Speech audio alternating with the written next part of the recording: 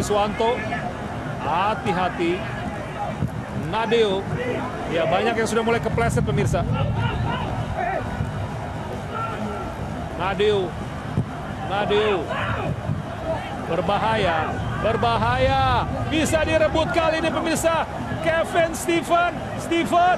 Oh masih bisa dihalau lagi. Dan Leo Guntara.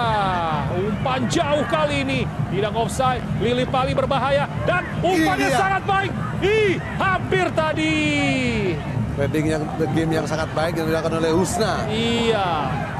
Ustaz cepat juga tadi maju. Tuh. Fajar. Oh, selesai pemirsa.